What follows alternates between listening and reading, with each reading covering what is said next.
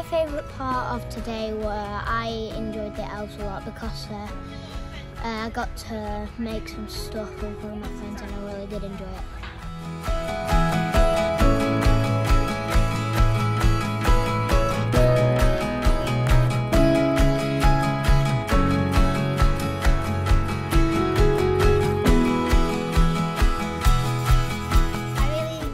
Um, making the bird feeder for the birds because it is kind for them and it's healthy for them in the winter.